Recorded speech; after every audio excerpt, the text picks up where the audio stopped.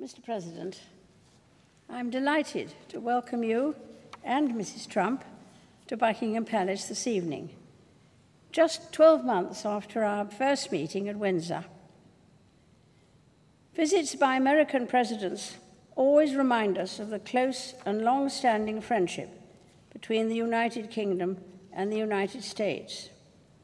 And I'm so glad that we have another opportunity to demonstrate the immense importance that both our countries attach to our relationship. In the coming days, you will see some of our most treasured historical buildings, speak to the business leaders whose expertise and innovation drive our economies, and meet members of our armed services, past and present.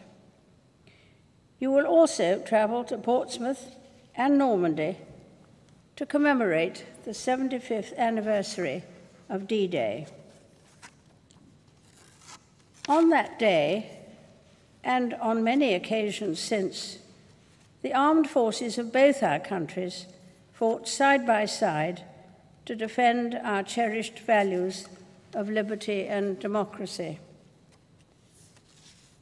Mr. President, in your State of the Union address this year, you paid tribute to some of the American heroes who risked their lives.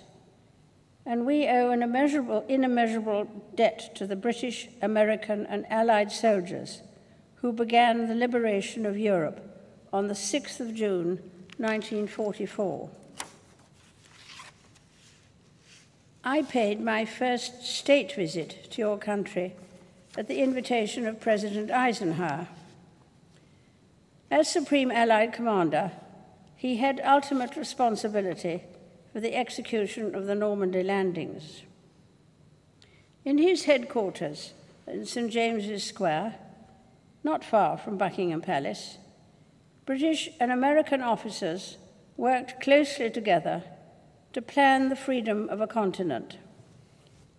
And it would be no exaggeration to say that millions of lives depended on their common endeavor. As we face the new challenges of the 21st century, the anniversary of D Day reminds us of all that our countries have achieved together. After the shared sacrifices of the Second World War, Britain and the United States worked with other allies to build an assembly of international institutions to ensure that the horrors of conflict would never be repeated. While the world has changed, we are forever mindful of the original purpose of these structures nations working together to safeguard a hard won peace.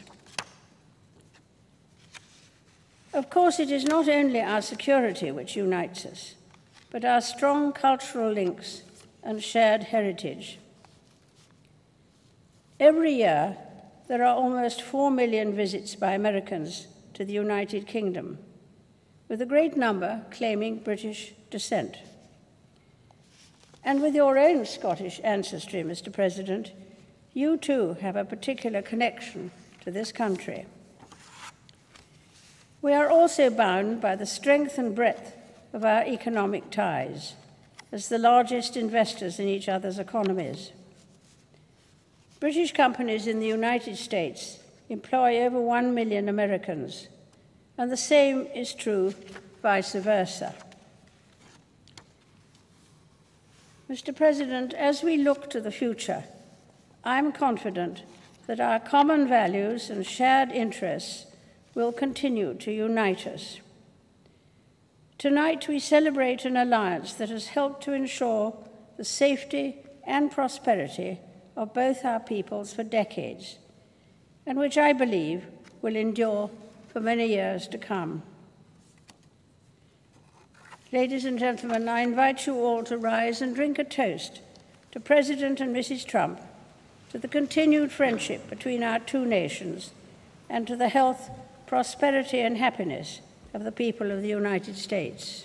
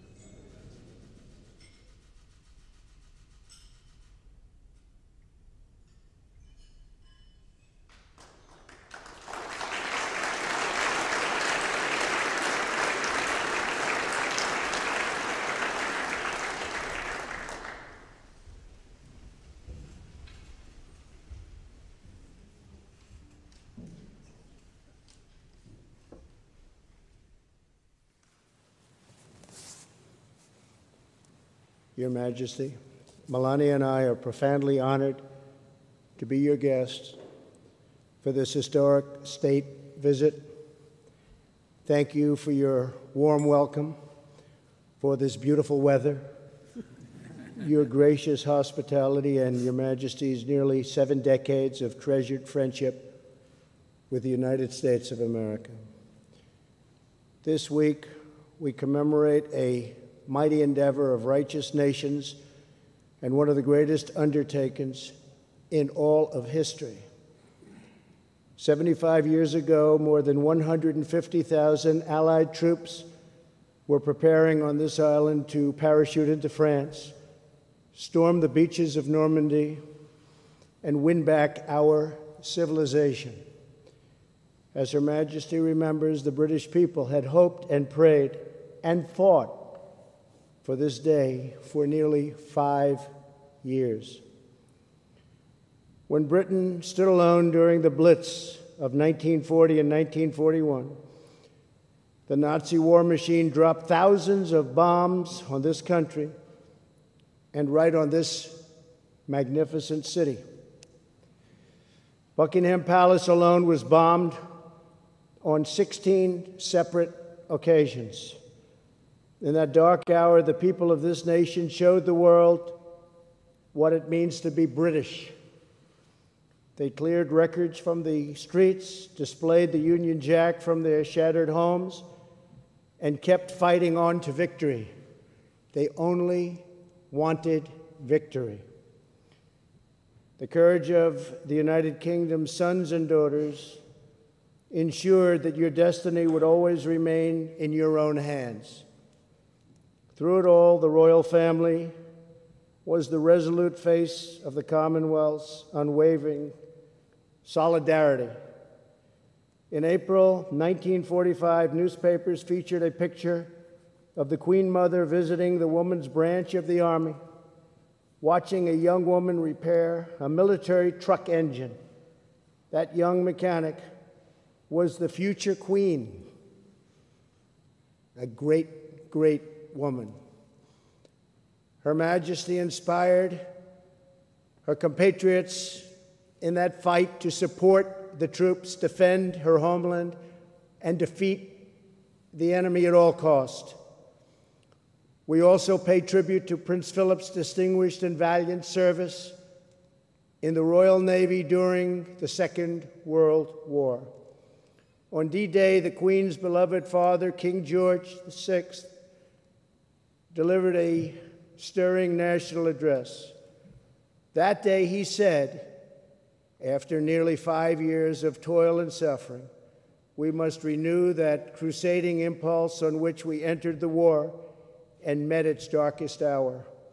Our fight is against evil and for a world in which goodness and honor may be the foundation of the life of men in every land. This evening, we thank God for the brave sons of the United Kingdom and the United States who defeated the Nazis and the Nazi regime and liberated millions from tyranny. The bond between our nations was forever sealed in that great crusade. As we honor our shared victory and heritage, we affirm the common values that will unite us long into the future freedom, sovereignty, self determination, the rule of law, and reference for the rights given to us by Almighty God. From the Second World War to today, Her Majesty has stood as a constant symbol of these priceless traditions. She has embodied the spirit of dignity, duty, and patriotism that beats proudly in every British heart.